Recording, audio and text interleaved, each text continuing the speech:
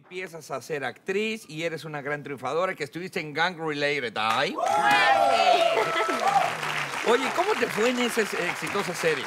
Muy bien. es- me gustó porque cuando leí los, los- el breakdown de lo que mandan de la serie, de lo que iba a ser, vi que era una de las primeras series, digamos que de cast completamente latinoamericano o de una historia muy latinoamericana, pero para una audiencia anglosajona. Claro. Porque usualmente cuando hacen esas historias son en español o van para la misma audiencia y era una cosa que eh, el, el network estaba tratando de hacer un crossover. Oye, y tú te preparaste de manera muy particular para, para tu personaje, una chola.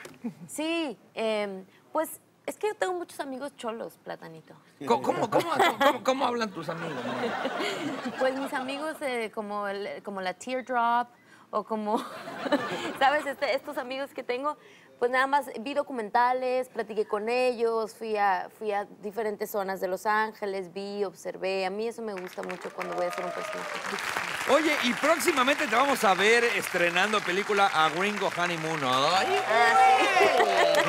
¿De qué trata Honeymoon? Es, el Gringo Honeymoon es la historia de un gringo que es muy talentoso en el arte de quitar órganos y venderlos.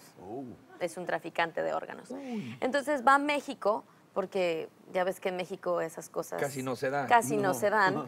Entonces va a México a un, un- a- va a Tepito y vive en Tepito y está haciendo esto y se enamora de una de las chicas del ring. Ya ves las chicas que, que pasan con... Con, con los con- números, ajá, con en los la- en números. el box. Eres edecán de la Yo lucha. soy edecán de la lucha libre y él está tratando de sacarme de esa vida y, y- y llevarme, pero la película realmente tiene, tiene- es, to- es todo un twist. Se, se oye como una historia muy convencional, pero eso es un thriller. Que además hicimos muchas cosas en la Arena México. Me enseñaron ¿Conociste a la Arena luchar. México? Sí. ¿Qué tal? Es un gran ambiente, Sí, ¿no? sí. Y aprendiste a luchar. Aprendí a luchar, aprendí a ser edecán, aprendí a muchas cosas, conocí a un montón de luchadores.